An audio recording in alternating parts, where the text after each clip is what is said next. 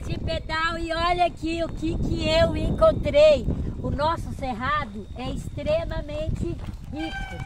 E como não chamar a atenção, olha que pé incrível. Você adivinha o que, que é isso? As plantas, elas possuem o nome popular, que é como se fosse um apelidinho, né? É alguma característica dela. E o nome popular é cagaita. E o nome científico é Eugênia dizitérica. E dizitérica em latim quer dizer desinteria. E cagaita também vem de uma baita de uma. Por que, que ela tem esse nome? Aqui, ó, bora conhecer ela primeiro para a gente reconhecer. Ela possui esse tronco típico das plantas do cerrado, que é essa casca grossa, fisurada aqui, ó. Ela solta esses quadradinhos.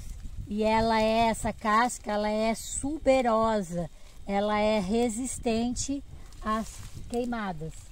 E ela possui esse tronco cilíndrico. E aqui, ó, tá vendo aqui, ó, dá pra ver? A gente vê que passou fogo nela, ó. E aí essa casca, a gente vê que protegeu ela, mesmo tendo o fogo, a gente vê que não danificou aqui, ó, a entrecasca. Então é uma das características da planta do cerrado. E aqui, ó, ui, essa aqui tava no chão, ó. E essa aqui tá quentinha. É a fruta da cagaita. E essa tava no chão, ela tá quentinha.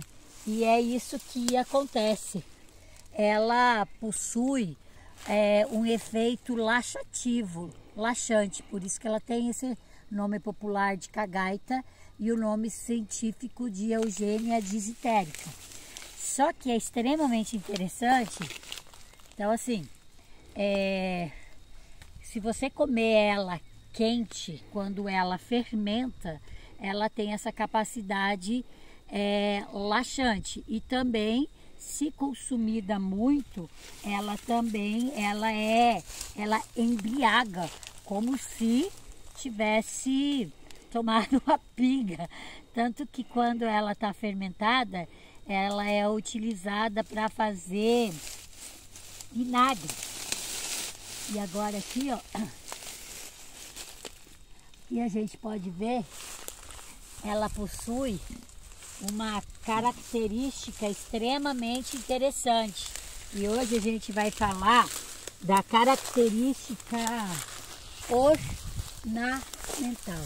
Aqui nós estamos vendo ela praticamente sem folha. O que que acontece com essa planta?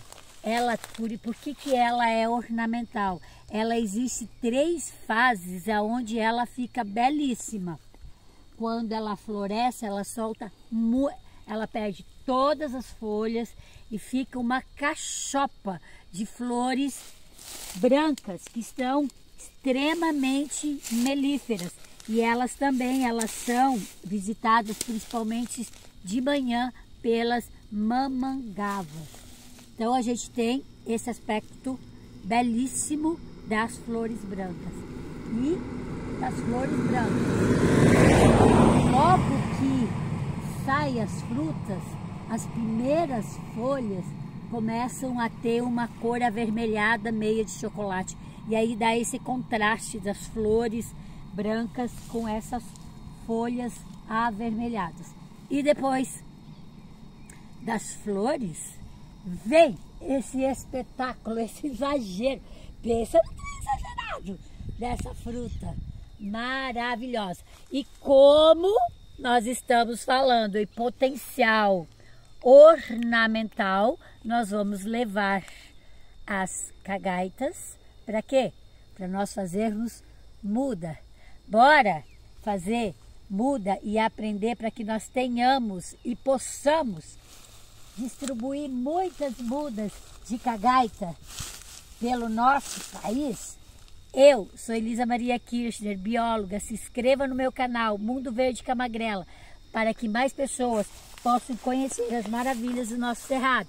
E eu, juntamente com a minha bike, nós possamos encontrar essas verdadeiras maravilhas. Vou levar, vou colher mais um pouquinho. Vou botar mais umas aqui, né? Vou pegar aqui mais alguma. Tá alto, né? Colheita feita. E vamos para a segunda parte. Mundo Verde Camagrela. Bora comigo, que essa viagem hoje foi incrível!